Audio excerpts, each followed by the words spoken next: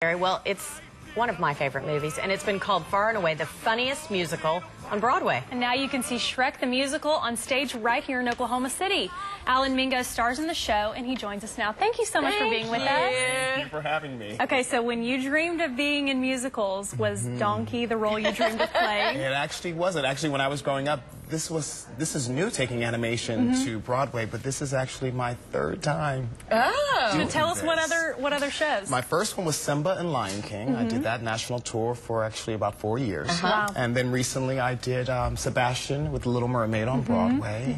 And now here, You're, you're Donkey. Donkey. awesome. You gotta love Donkey. He's the funniest. Yes, but the pressure is on. I mean, Eddie Murphy, who actually did the voice, is uh, amazing. So um, I was glad to have the opportunity to do it, to add actually the physicality and some of his isms into this donkey. That's really cool. Okay, so is the show a lot like the movie? The show's a lot like the movie. Uh, it follows the first movie, but you'll learn a little bit more about the other characters. For instance, why Shrek was cast away, and why Fiona was sent to the tower, and you'll learn about some of these other fairy tales like the Three Pigs, the Big Bad Wolf, Peter Pan, that you didn't really get to see a lot in the movie. Awesome. find about their story. Now, you, this is.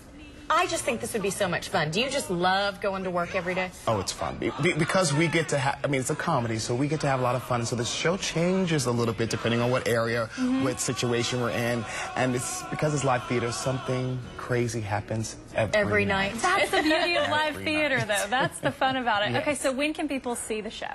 Well, we're here until Sunday. We uh-huh. have um, we have two shows: a matinee on Saturday, a mm-hmm. night show on Saturday, a matinee on Sunday, and a night show. And we're playing all this week at 7:30, and then Friday at 8. Okay. Okay for kids to see this too? Great for kids, but even better for adults. A lot of adults don't realize how much fun this show is. This is a great date night sort of uh, right. musical. I'm, I'm gonna- write that down, We're right? gonna it to my husband That's here. right. Thanks so much for joining us. Uh, thank, Thank you, you. for having me. For more information on the show and to get tickets, go to news9.com slash links.